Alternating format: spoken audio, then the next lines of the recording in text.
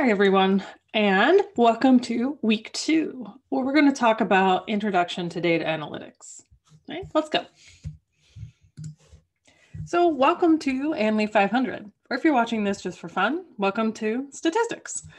And in this course, we're going to focus on the foundations of data analytics. So what is data analytics and what does that got to do with me? Research methodology and the R programming language. So you're going to learn a lot about statistics and research design in, in R and uh, a little bit about data analytics in the broader context of how we're learning statistics. Now, my background is social science, but we'll talk about business as well as the softer sciences. So the first question we have to ask ourselves, what is analytics? Like why call it analytics? Partially because that's the name of our program, but why call it analytics over statistics? And analytics can be defined in a lot of different ways, but let's focus on two different definitions. Okay. Possible definition number one. Okay. It's the utilization of data. So everybody likes data, especially now with big data and the focus on um, on you know crunching through the numbers information technologies like programming languages, okay, and statistical analysis. And as a, a, a background with a, a, strong research background than being a statistician, I'm really interested in the stats part. Okay? And we can do that through quantitative and qualitative methods. I teach both. And mathematical or computer models to help us make the best decisions through those improved insights. So statistics and analytics kind of go hand in hand. But we have to remember that often people interpret statistics as the like traditional um, ANOVAs, t-test, hypothesis testing on real numbers, right? Where there's a whole side of analytics that you're missing when it comes to visualization, because a good visual is worth many words, more than a thousand, and also text analysis. So analytics kind of covers the broad field of using data to make informed decisions. Now here's another possible definition. It's the processing, processing process of examining data to draw conclusions. That uh, was what I'd argue a lot of people do about whatever information is contained. So gleaning from the data, what is it telling you? Can we build models that represent the data to help us predict the next piece? And this is improved and expanded through specialized software. So we're going to focus on R in this class, but there are many software tools that one can use like Tableau for visualization, uh, SPSS and SAS for statistics, Python, which kind of floats depending on who you're talking to and what Python's good best usages are for modeling purposes, right? And so there are a lot of different specialized softwares that we can focus on. And this course is going to look at R, especially because it's free. So what is the scope of analytics then, right? And so the focus of data analytics can be defined under three different scopes. And that includes descriptive analytics, predictive analytics, and prescriptive analytics. And I think if you kind of look at the names of these, they will become obvious what they are, but let's walk through each one. So descriptive analytics is the use of data to understand past and current performance. Now, it doesn't have to be business, right? I could be looking at um, the uh, participants' performance in a research study, right? And making informed decisions. A lot of this has a sort of business focus by calling it analytics, but here I am, the social scientist, so we'll get both sides. And so it's describing the current data to help us then make some informed decision. Okay, so it's descriptive. Okay. And we're asking ourselves, what happened? Okay, so what, what happened in the data? What is there? What is the data telling me? So here's an example um, using some R code. And so we'll pull out this data set that is saved in the data sets library. Okay, this comes with base R. And specifically, we're going to load the sunspot month data. And so we're just going to look at trends in the number of sunspots. And that will help us understand if there is a pattern to these trends across time. So we're accessing this data by loading the library right, and then calling the data set. And there are a lot of data sets in the datasets library, hence the name. And this one is set as a time series design. Um, so it's a special type of vector that has each month's number of sunspots. Okay. Now I can look at the structure here to help me kind of solidify some of those R skills we talked about in our previous lectures, where I see that it's like, it's a special label, right? It's a vector of, of like one row of data, but it's specifically a time series vector. And that can make it difficult to work with because uh, I think I mentioned in the last one that dates are always problematic, but we're just going to kind of count, you know, treat this as con a continuous time because it's each month's data and just see if we can make a simple plot to describe what's happening in the data. Now, the summary function, which spits out uh, different options based on what it is taking in, remember, so this is going to give me the basic descriptives of that. So some months have no sunspots, some months have 253 sunspots, and the average is 52. And these are just sort of the basic statistics one can get which we'll cover more in some of the next lectures on the difference. What does the third quartile exactly mean? Um, but, you know, I can understand min and max without a whole lot of extra background. So there's a wide range of variability in the data. So from that summary, I could probably tell you on average, I can make a prediction and that on average there's gonna be about 50, but there's a wide uh, spread in the data as well.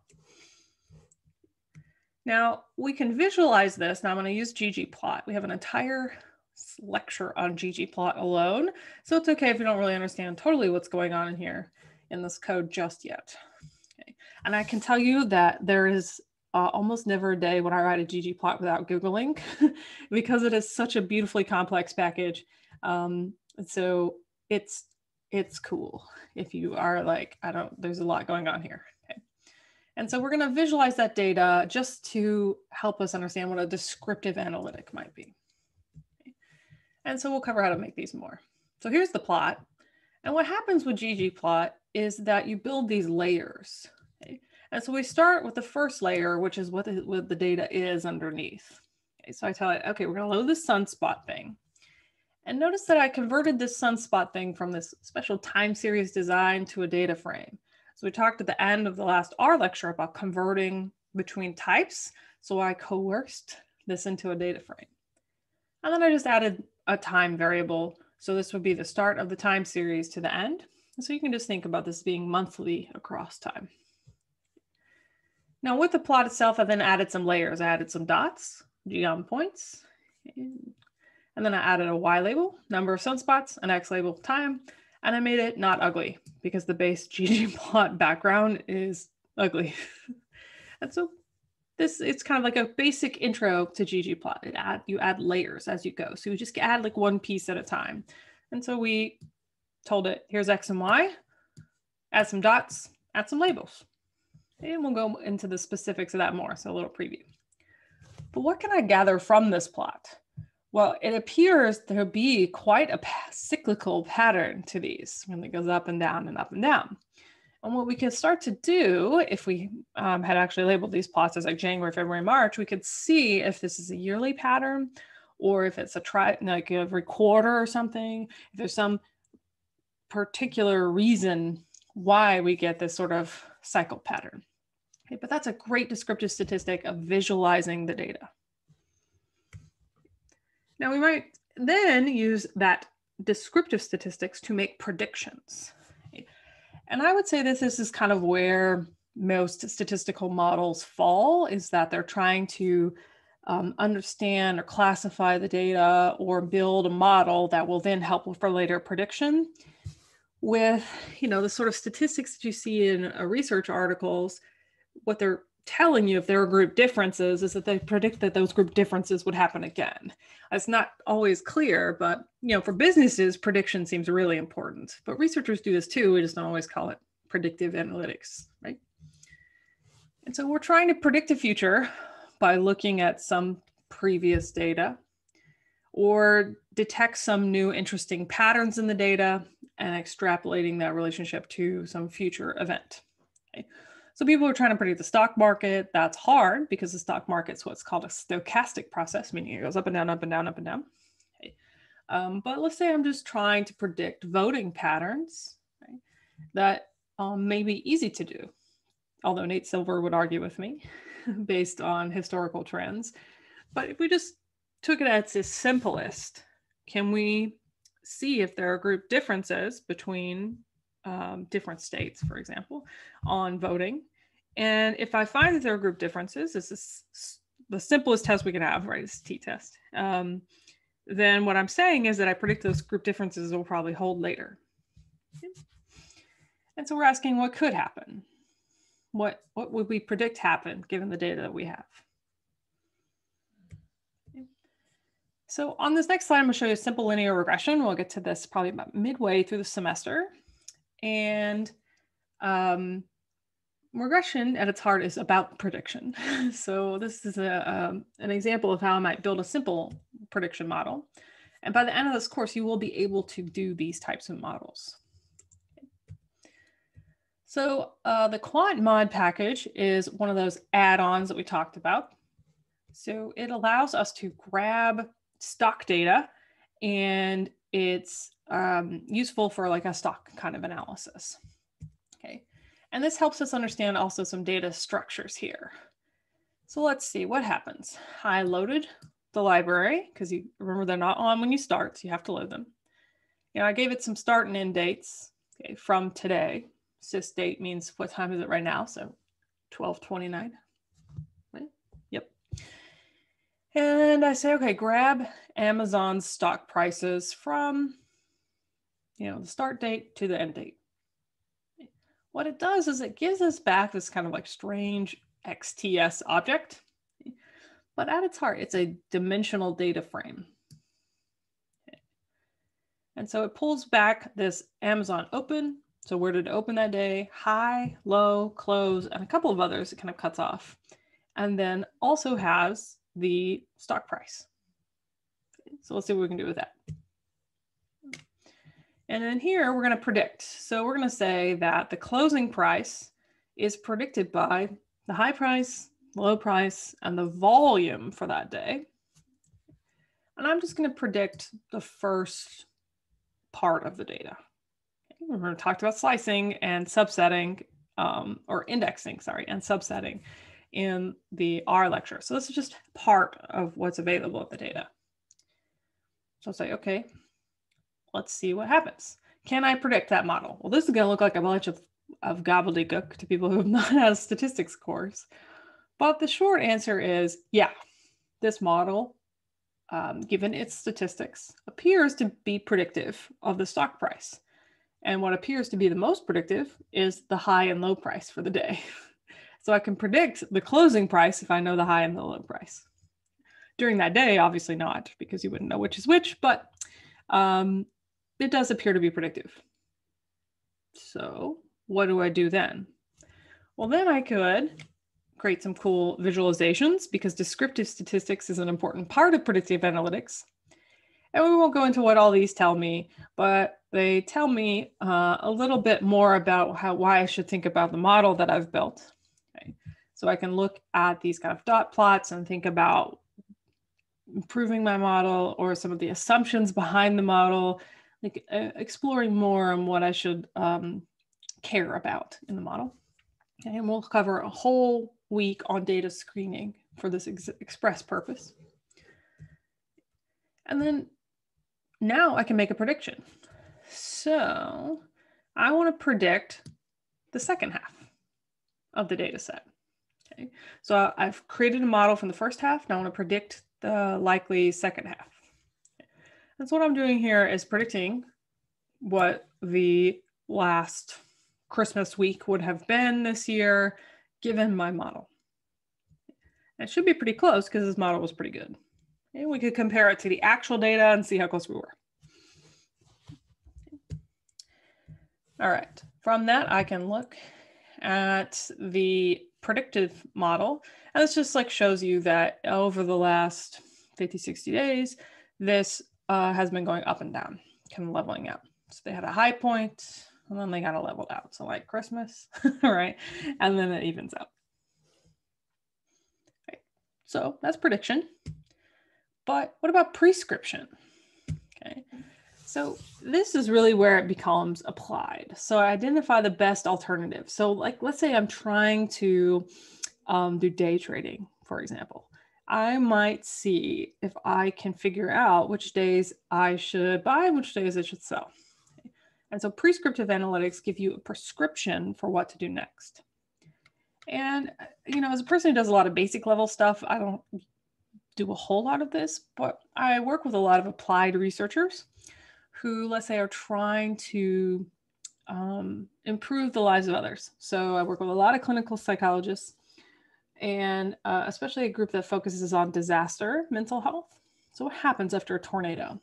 What happens after a hurricane or a flood? What can we do to help people survive? Right. That's where prescription comes in. So they're saying, you know, given this um, focus from our research study, we think this is the best therapy, or these are the best solutions, or here are the things that we should target to improve the lives of others. Now, if your business, this makes a lot of sense. You want to maximize your bottom line, right? So you're trying to minimize costs and maximize gains. Um, but this is really a question of what should we do? Given these results, how should we pivot to, you know, meet our goals? And so there's a whole field that focuses on optimization okay, and optimization of parameters. I watched someone give a really fascinating talk one time about where um, um, ambulances should sit to best maximize their response times. And like, blew my mind. Like, I don't even know where to start on the math for that. so there's a whole field that focuses on optimization of complex, um, complex designs, like, for example, how Amazon delivers their packages.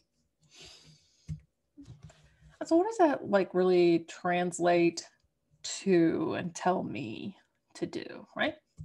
So analytics is the discovery, interpretation, and communication of what's in the data. Okay? We don't torture the data, although you could, and I'll show you how and why you shouldn't. But we're, we're getting the data to tell us what's in it. Okay? And creating these summaries, these descriptions, these visualizations, creating predictive models, and then saying from that predictive model, here's what I think you should do, which is a prescription. And so I, um, I think this is a funny phrase, honestly, but analytics is a mindset. Data analytics is a process, right? And so I think of this as like you have to think like a researcher, right? So what what could have gone wrong in this data? What is this data? What is the background of the data? You know, should I trust the data? Is it garbage in, garbage out? That kind of thing. And the statistics is the application of the math to that. So you still have to have that mindset of thinking about all the components and pieces that go into an analysis before you even hit the buttons. Because almost anyone can learn how to write and hit the buttons, but the interpretation is the is the skill set we're going to learn, along with some code. But interpretation is a, a lot harder. And you thought the code was going to be the hard part this semester, right? So conducting analytical research is is a, a form of thinking and acting on the data. So what's the next question? Well, what is data analytics then? If I've kind of defined analytics, what is data analytics? This, to me is a fancy phrase for statistics, but you know, that is my background. And so it's the process of examining data sets in order to draw some conclusions about the information that it contains. And so if that's data analytics, how do we do that? Right? If I'm going to describe data analytics as a process of applying math, right? Um, and it doesn't always to be math, it can be visualization. So a process of examining, visualizing, describing, and drawing some conclusions. Like how do I, how do I do that? And then we get into data analysis. Okay. So data analytics is this very big, broad term. I feel this way when people talk about data science. Um, you know, when someone tells me that they're a researcher, I'm like, okay, cool, but what do you do? Right. And so that includes data analysis as is necessary subcomponent. And analytics defines the science behind analysis. And so I, to me, it really is about thinking about the whole picture, right? So there's this broad range of, of things that can impact an analysis. And a good data an- analyst is someone who can think about all of those pieces, especially to me, like uh, what, what the data is. Being suspicious of data, right? In the sense that um, if if I'm not um, aware of the biases that are available in the data, my analysis will then also be biased. Okay, so an interesting story. I was listening to a podcast one time, um, and if you're interested in this idea of bias, Cathy O'Neil is who you should go and look up. Weapons of Math Destruction. It's really fascinating. And they were trying to solve um, the city problem, right? Potholes. Um, where are the potholes, and can we go fill them in? And so they had this app that they put on that they allowed city people to download, and um, it would while you were driving, it would measure like you know the car bouncing up and down. And what they found when they analyzed the data was that there were only potholes in the rich neighborhoods because the people in the poorer city neighborhoods probably couldn't afford the data to run the app continuously while they were riding the bus or didn't even know about this app. And so the data was biased when it came in because it only came from certain sources. And so it took them a while to figure out like, no, this, this isn't working. Like it's a great idea and there's nothing wrong with the data collection apparatus, but the source of the data was biased. And so that's what I mean by thinking about the like whole picture. So not only all the little statistical mathematical components, but this whole like, what is this actually telling me? Okay. And so what are we going to do? Well, we're going to talk about exploratory data analysis. And there's a whole, there's a separate whole course on this in our program, which really just like aims to find these patterns and these relationships in the, the data. We'll kind of get it a little bit into not like traditional EDA, but this idea of visualizing, creating these visuals that, you know, explore the data and then confirmatory data analysis, which is where we're going to apply some sort of statistical technique like an ANOVA, t-test, regression, um, factor analysis. And so these are the things that we're going to learn this semester. Okay. And we're really going to focus on hypothesis testing um, because that is sort of the base of a good statistics education, right? Is thinking about asking questions and finding ways to answer them. However, we have to think about the fact that there are several other types of analyses that one might do, and they're not actually incompatible with this EDA CDA distinction.